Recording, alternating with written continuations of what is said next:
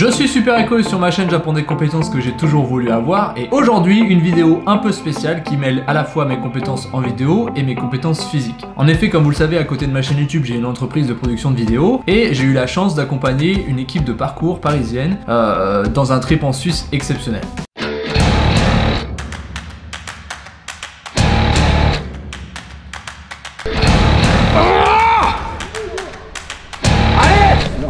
Ah ça passe Allez Vas-y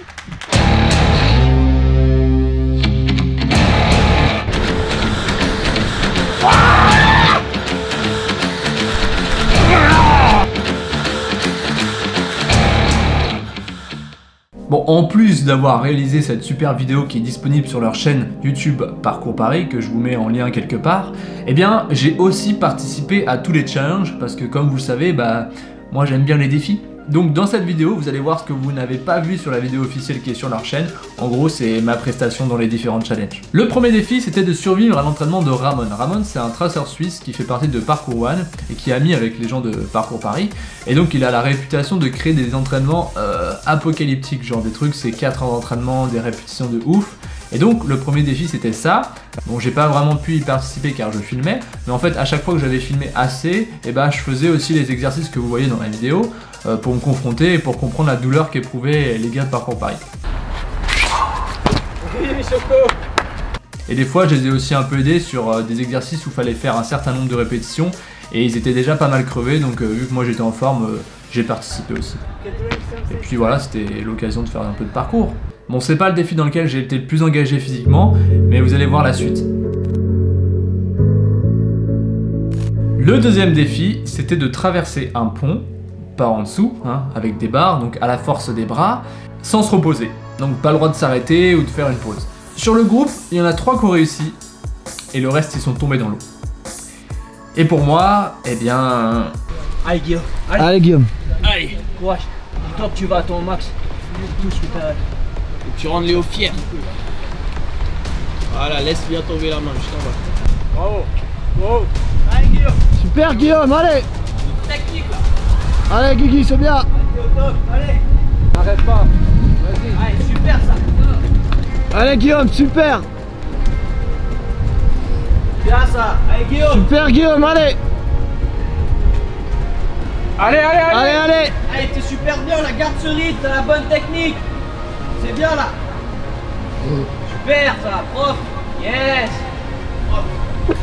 Allez Allez, allez, allez, tiens, tiens. Voilà Et il tire là, balancez Allez Guillaume, allez. Go, go, go, comment Yes Allez, encore une, encore une. N'arrête pas. Non, non. Oh là là.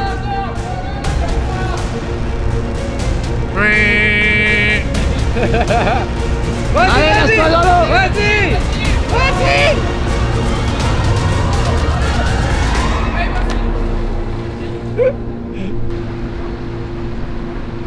Bien joué, gars Bon bah voilà, je suis tombé. Voilà. Bon, il faisait froid. hein. C'était un super défi et je pense que vraiment si je le retentais, je réussirais à aller au bout. Parce qu'en fait là, la principale difficulté, c'était pas la force dans les bras, les avant-bras, etc. J'étais plutôt euh, solide là-dessus. Mais le problème, c'était le grip des mains. En fait, au bout d'un moment, j'avais tellement agrippé et en plus il faisait froid que mes mains c'était devenu des blocs de glace. C'était comme si j'avançais avec des gants de boxe. Donc au bout d'un moment en fait j'avançais mais voilà je, je sentais plus rien et mes mains ont lâché. Pour la technique en fait c'est pas très compliqué en fait. C'est un système de balancier comme quand on va d'arbre en arbre, comme fait Léo Urban dans les arbres et comme j'avais fait avec lui quand j'avais appris. Donc euh, voilà c'est je pense pour ça que je suis allé loin et que j'ai été quand même plutôt euh, j'avais plutôt une bonne technique. Mais euh, voilà, ce qui me manquait, moi, c'était le grip, et peut-être aussi parce qu'il faisait froid, tout simplement, quoi. Le lendemain, on s'est levé à 4h pour aller à une destination inconnue. On est arrivé sur place, et là, on a appris qu'on allait grimper, non pas 1000 marches, non pas 5000 marches, non pas 10 000 marches, mais 12 000 marches. Pour vous faire une petite comparaison, la Tour Eiffel, c'est 1665 marches. Et Poudlard a 142 escaliers, ce qui n'a aucun rapport, bien sûr. Et donc, le défi, c'était de monter les escaliers euh, qui montait jusqu'au mont Niesen, qui est un mont à 2300 mètres d'altitude, il me semble. Et en fait, ces escaliers-là, ils longent un funiculaire. Et ce sont les plus longs escaliers du monde. Et ça, on l'a su qu'après avoir fait le défi. Et l'autre particularité de ce défi, c'est que c'était illégal. En soi, en fait, euh, ces escaliers-là sont faits pour les travailleurs, donc c'est pas non plus illégal, illégal, mais en fait, c'est dangereux parce qu'il y a un funiculaire. Donc c'est pour ça qu'on y allait tôt. En fait, l'idée c'est qu'on parte tôt et qu'on arrive en haut avant que le funiculaire ne démarre. Et pour moi, ça s'est bien passé dans le sens où bah, j'ai été en temps, j'ai pris deux heures et je suis arrivé pile au moment où le funiculaire, le premier funiculaire a, a démarré. Mais malheureusement, ça n'a pas été le cas de tout le monde. Il y en a qui se sont fait embarquer par le funiculaire parce que bah, ils n'avaient pas le droit d'être là. J'ai pas eu de problème, j'ai pas eu de douleur, j'ai pas eu de fatigue, j'ai pas eu de, de, problème cardio. Bon, bien sûr, c'était pas facile dans le sens, euh, j'ai voilà, un peu galéré. Mais il y a aucun moment j'ai eu l'impression que j'allais abandonner ou que c'était trop dur pour moi. En fait, j'ai juste euh, été assez lent au début et puis après j'ai pris mon rythme et ça s'est très bien passé. Et après ça, oh là là, je me suis tapé le plus gros petit déj de ma vie quoi. Et l'autre anecdote sur ces escaliers, c'est qu'il y a une vraie compétition qui existe où il faut euh, effectivement monter le plus, plus rapidement possible. Et là, c'est autorisé. Mais ça, c'est une autre histoire. Le quatrième défi, là vous vous dites Ah bah super écho, t'as appris à faire de la slackline, ça a dû être facile. Qu'est-ce que t'en sais toi? Bon c'est vrai que je venais d'apprendre la compétence donc euh, j'étais plutôt confiant, mais en fait quand j'ai vu que personne n'y arrivait, que tout le monde tombait, bon bah j'ai un peu déchanté quoi.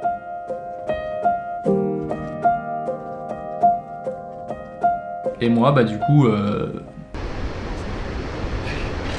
Ça glisse un peu avec le pied quand même. Putain.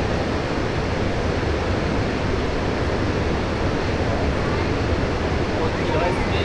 Ouh là. Ouais, ouais, je suis tombé. Ouais, non, je suis pas tombé. Non, en fait, je suis pas tombé. Mais j'ai pas voulu tomber parce que j'en avais marre de tomber dans l'eau. Et c'est très différent parce qu'en fait, euh, quand on a le sol en dessous, bah. On tombe, on se relève, on réessaie, et au bout de, je sais pas, la dixième fois, on y arrive d'une traite. Mais là, en fait, il n'y avait pas d'essai parce que tu tombes, c'est dans l'eau. Donc euh, voilà. Mais je suis sûr que c'est un truc que je pourrais réussir. C'est pas, c'est pas en dehors de mes compétences.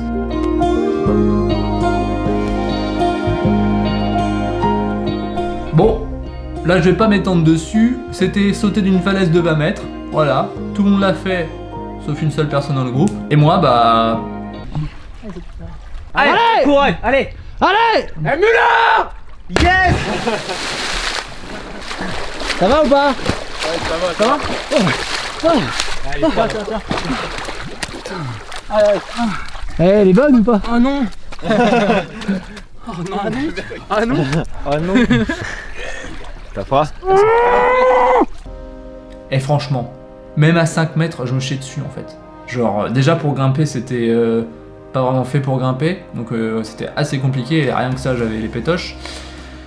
Mais je me voyais pas faire plus haut. Mais je pense que c'est un truc que je devrais refaire, c'est obligé, que j'ai envie de développer un peu cette compétence, parce que bon, ils l'ont fait à 20 mètres, pourquoi pas moi Voilà, c'est. Bon, je suis. C'est le seul défi où j'ai pas vraiment porté mes, mes corones. Je les ai un peu laissés en bas, quoi. Sitting on my packing my hoping that someone calls me back. Et finalement, le dernier défi, qui n'était pas un défi pour les autres membres du groupe parce qu'ils l'ont déjà fait, c'était escalader la Dame du Lac. La Dame du Lac, c'est un lieu emblématique du parcours que tous les traceurs un peu viennent euh, escalader ou faire du parcours dessus. Et en gros, bah voilà, moi je voulais escalader, euh, je suis monté sur la gauche, euh, voilà, j'ai escaladé quoi. Ça a pas très compliqué. Enfin, c'était, enfin j'ai pas, en fait, j'ai juste pas regardé le vide et ça s'est fait tout seul. Et en revanche, une fois que j'étais là-haut, euh, j'étais content, mais quand j'ai voulu descendre, je me suis rendu compte qu'il fallait se mettre dos au vide. En fait, monter ça va, mais descendre, euh, ça fait peur. Du coup, j'ai dés- désescaladé par l'arrière, il y avait des prises. Je me suis, je m'en suis sorti pas trop mal, mais ça mettait un petit peu la pression quand même. hein.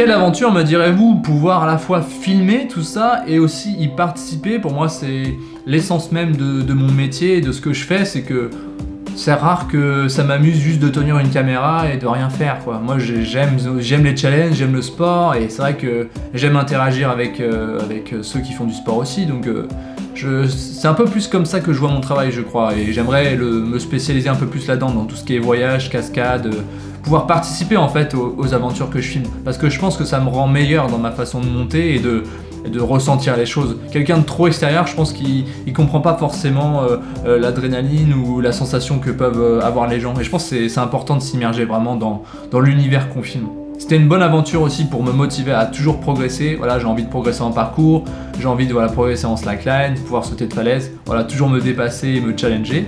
Ça, je pense ça, ça ne s'arrêtera jamais. Tout cas, merci à Parcours Paris euh, de m'avoir permis de faire ce voyage. Euh, parcours Paris, bah, c'est une association qui enseigne le parcours depuis plus de 10 ans et c'est avec eux que je m'entraîne et avec eux que je progresse. Donc, euh, si vous avez envie d'apprendre le parcours sur Paris, n'hésitez pas à aller voir, allez voir leur chaîne aussi. En tout cas, si vous avez passé un bon moment, si vous avez appris des choses, bah, n'hésitez pas à liker, à partager et à vous abonner, à cliquer sur la cloche pour recevoir la notification de mes prochaines vidéos. Et surtout n'oubliez pas, force et utilité.